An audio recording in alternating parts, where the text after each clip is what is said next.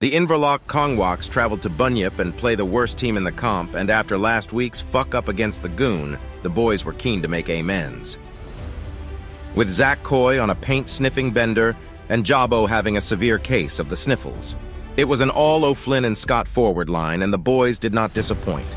After Cal was spraying them more than a Janice Griffith scene, Cambo finally steadied the ship with one through the big sticks. In emotional scenes, it was enough to bring a tear to my Jap's eye.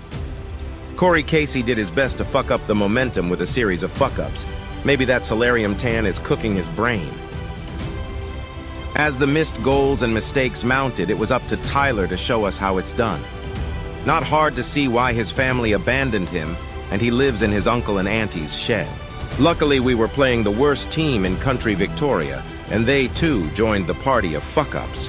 Jimmy Scott tried to get some momentum flowing, but it went down as well as an STD at an orgy. Another turnover from Tyler meant we needed someone to step up. And that someone came by the name of T. Mill.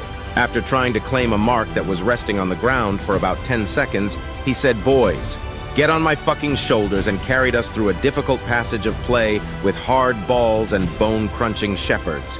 Then in a play harder than Johnny Sins' 9-incher, he got the kick away before being buried into the ground. The second quarter was when the boys really started to get on top.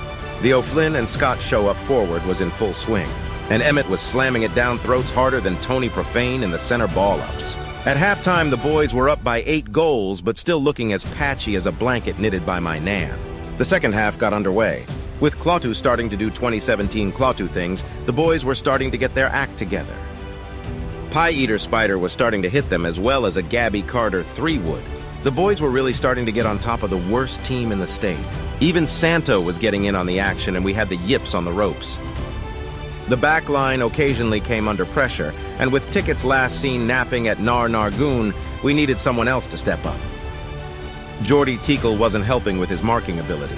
Luckily, we had Stricker still looking like an Auschwitz escapee. He was taking grabs and getting us out of trouble.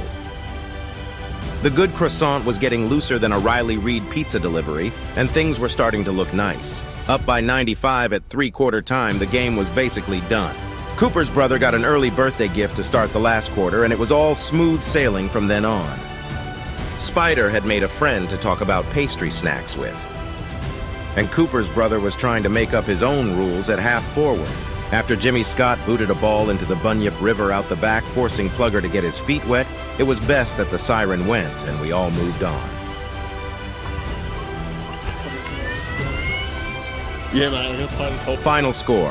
Inverloch Kongwaks 167, the worst team in the Southern Hemisphere, 0.